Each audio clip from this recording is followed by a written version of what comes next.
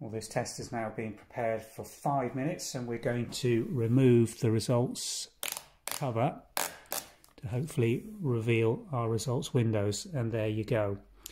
We're looking for the presence of test line and control lines and every single one of these columns must have a clear control line which is the line marked by the C and furthest away from the dipped end.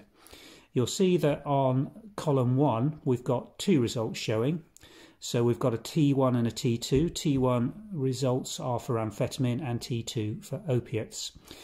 On the other four columns, sorry, five columns, we've only got a single T line or test line. So these are individual drug group results. And you'll see test lines showing for all the T1, T2 areas, indicating this is a clear negative result.